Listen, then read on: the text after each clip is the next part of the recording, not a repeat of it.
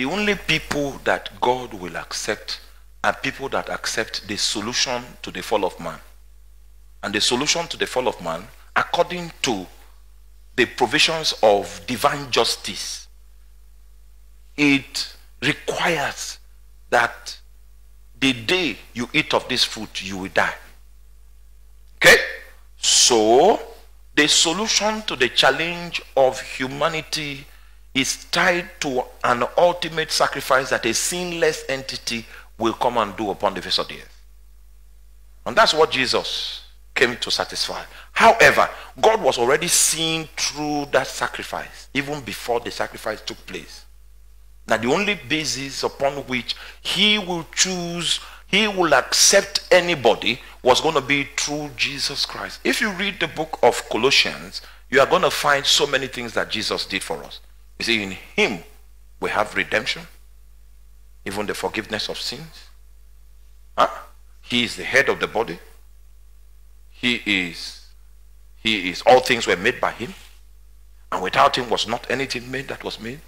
And what Colossians is trying to do is to present Christ as preeminent, as the governor, as the administrator. And anything he's not administering is not in the kingdom of God. So the Bible says that in him, he chose us in him. That means he opened the door in Christ Jesus. And only such chosen will be able to design Jesus as the only access point into the kingdom of God.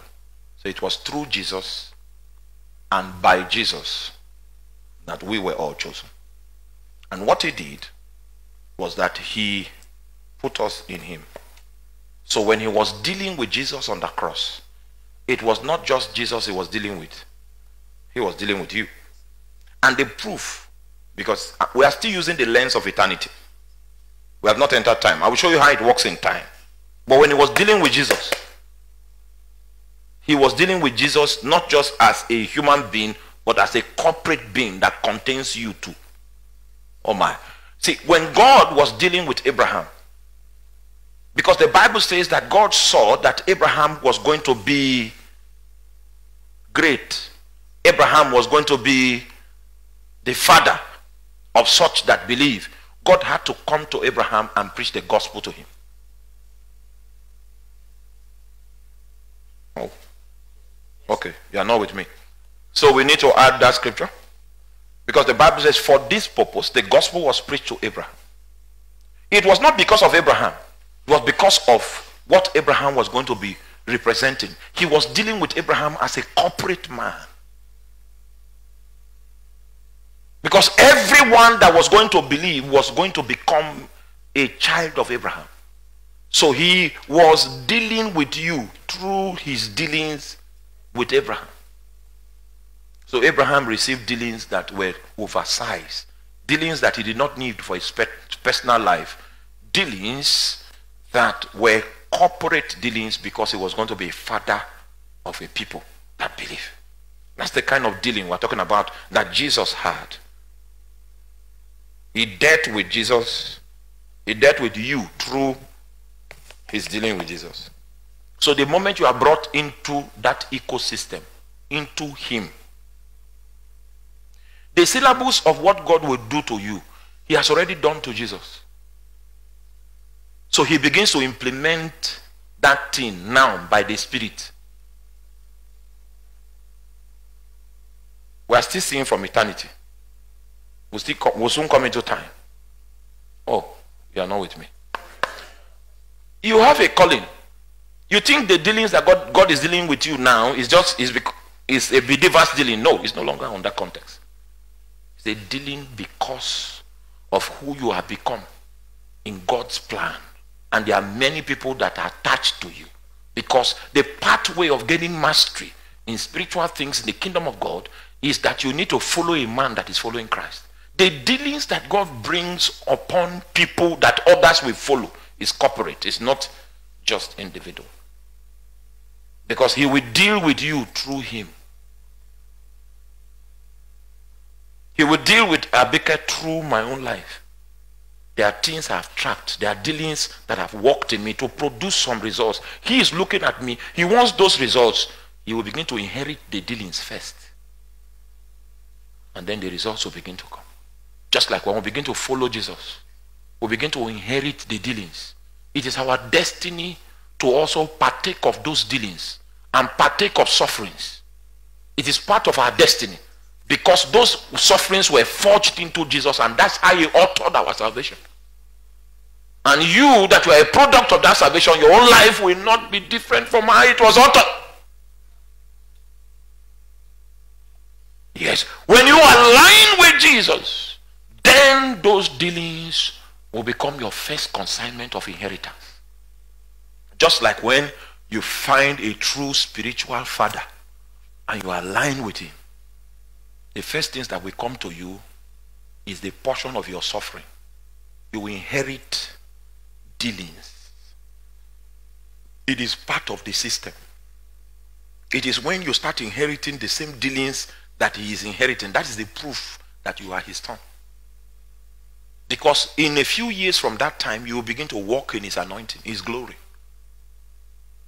Because you are being a partaker of his dealings, you will walk in his glory and you even have the possibility of walking it in that glory in higher levels of excellence. There is nothing that is happening to you now that didn't happen to Jesus. But when you became connected to Jesus, you now inherited those dealings.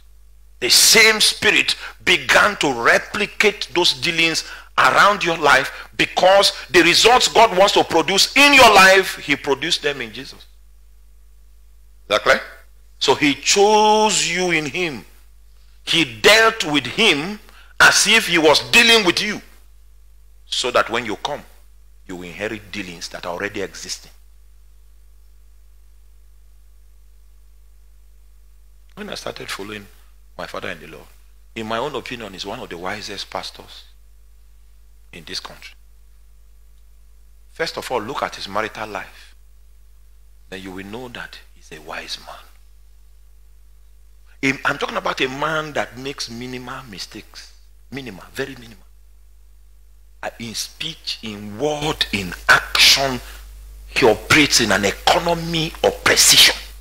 And i am a very, oh, I'm a dangerous student. Terrible student. I can see your mistakes easily. But I work with a man that was impeccable. And I wanted to find out how did God achieve this? How many of you know there's one Islamic leader in the north um, who is in jail now? Well, if you call the name, you are you call the name. But there's one there's one man. So this man came to visit my father in the law and said, This your church is fine? Uh, we want to expand our affairs in this location. And we're thinking if we could buy it.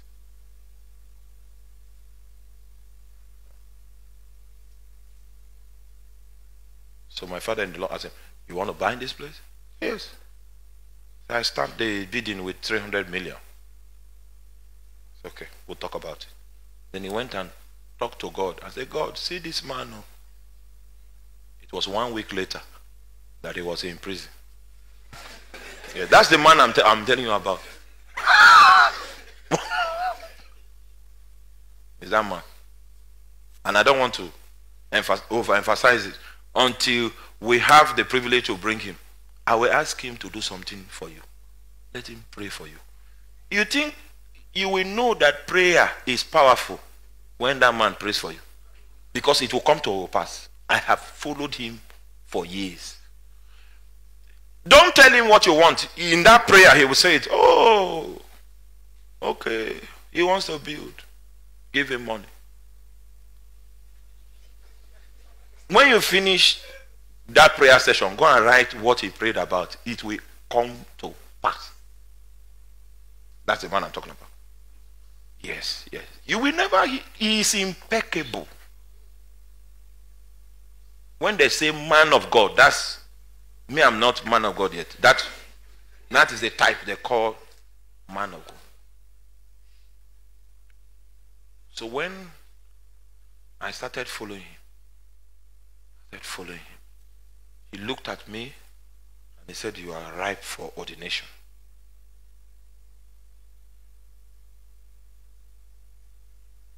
But I was not married then. I waited, even though I was qualified, to get married. It was seven days after my marriage that I went forward. And while he was ordaining us, we were to be ordained reverend. He, he was the one that pointed and said, This one is an apostle. So that's how they ordained me apostle. Not we were going to be ordained reverend. So he was the one that said, This one is an apostle. So that's how I became. I knew that was my calling. But how can you speak before such a man? And it was the Holy Ghost that spoke to him. So there are people you are seeing apostle on. Eh? We don't know them. Oh. Hey, we don't know them. We don't. Don't be quick to even. Eh, hmm. Well, and the Lord will help us. Don't. There are people carrying title. You following? Around. Let me tell you something. They don't. The grace of an apostle. Ah, he will bring you into death first. They don't know death and they are calling apostle. The Bible, Paul says, it seems as though God calls us apostles first as men that are being delivered unto death.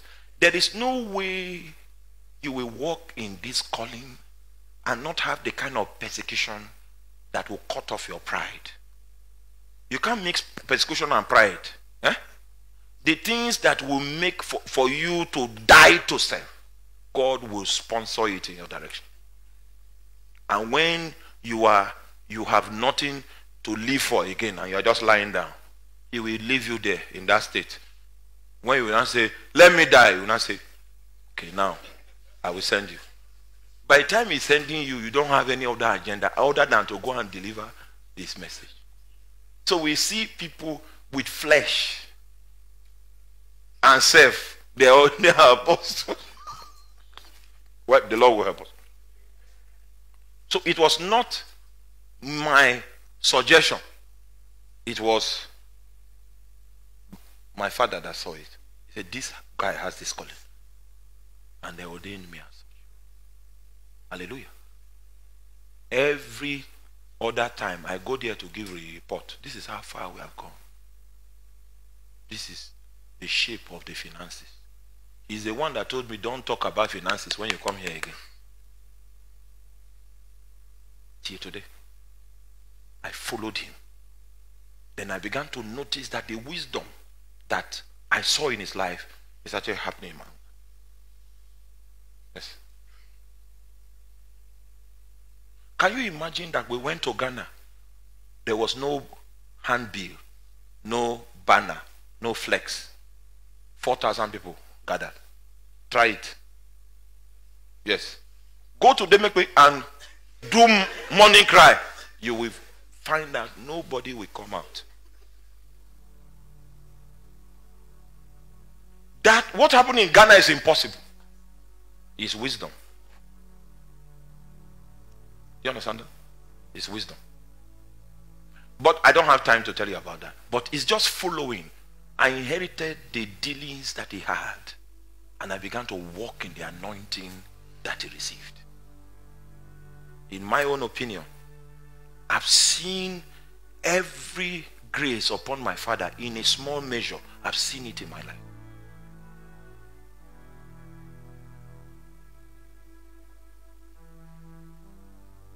He chose you in Him. That means you have no life in this context that is apart from Jesus. Your life is hid in Him. So when you consider yourself, don't consider yourself in isolation of Him. Because it is in Him that we have access to that central bank of the riches of God is only in Him. So all the resources that you need is within that crucible, within that administration. The implication of this is that you are actually fully funded in Christ Jesus. For the Bible says that God is able to make all grace to abound. The economy of the grace of God is only operational in Christ Jesus. Now, that's side. Let's come side. When you haven't understood that he chose you in him before the foundation of the world, it is needful, therefore, for you to understand that he chose you with hope. And the hope he had, because he's a God of faith, the hope he had was that when you come into time, you yourself will choose him. Holiness is separating yourself to God. And what that means is allowing God to be the one that operates you. You see, we are capable of so many things. Hallelujah. As a pastor, I can decide that my next mission is to commit adultery 12 times in a year. And you are likely to succeed. Huh? But even though you can make adultery your mission, he chose you with the hope that you will be separated unto him. That only him will operate you. And if he's the one operating you, there are many things you can do that you will not do. There are many things you have ability to prosecute because he's the one operating you. It will not be registered in your life because you are separated unto him. The meaning of your life is what he uses you to do, not what you can do. I always tell people that if you always ask, can it be done without asking, should it be done, you are already falling. Because God can give you ability and never give you clearance to use it. Oh, the fact that you have anointing don't mean doesn't mean that you will use it. I've come to, for meetings before. Heavily anointed. He said, Don't lay hands today. And don't pray for the sick today. Meanwhile, the healing anointing is dripping.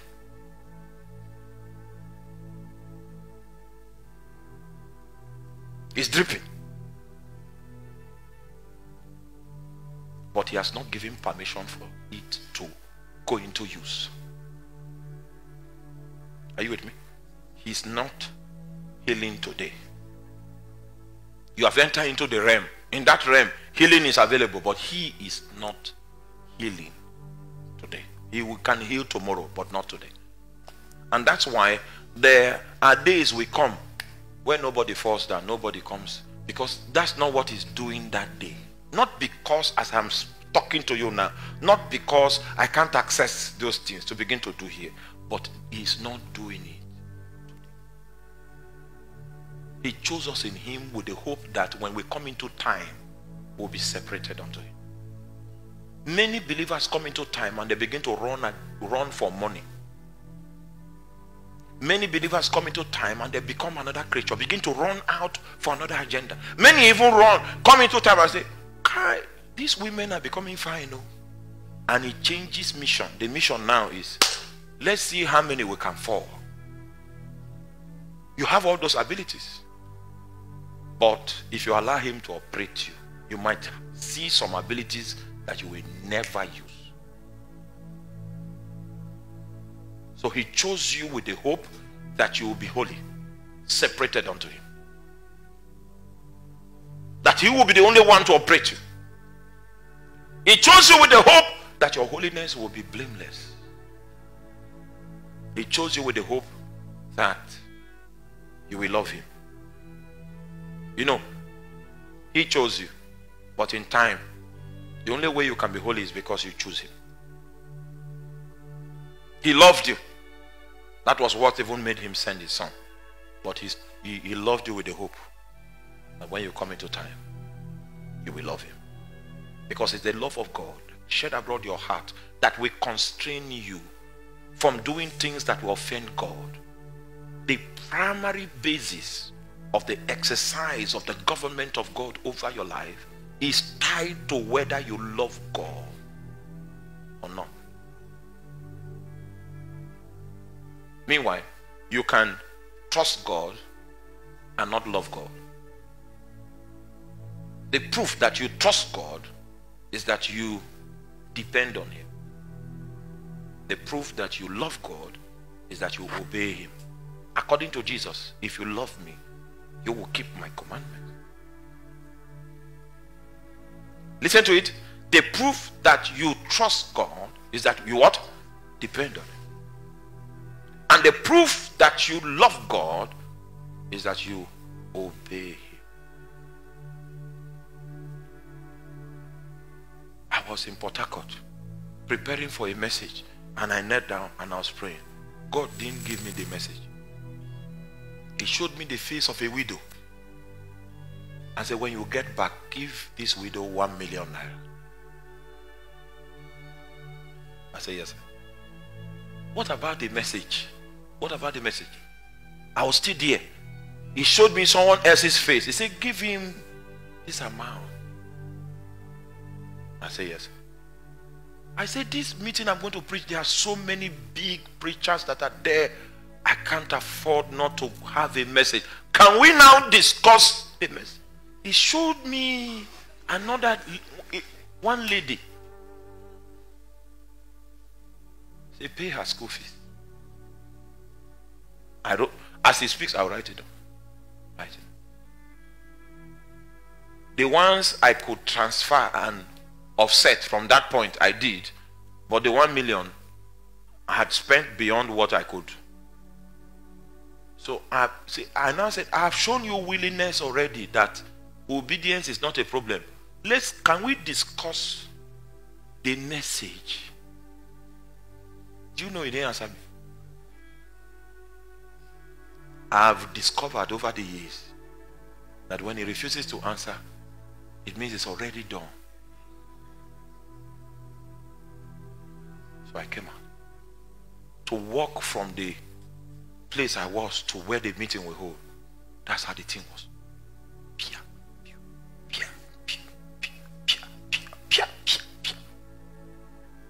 I couldn't even write. Then when I went to the pulpit, I was preaching like a wise man that knows. Ah. The moment I came back, I did what he said I should do. And when he speaks to me, he won't say, he won't say, give one million and I will give you. He, no and just give one million.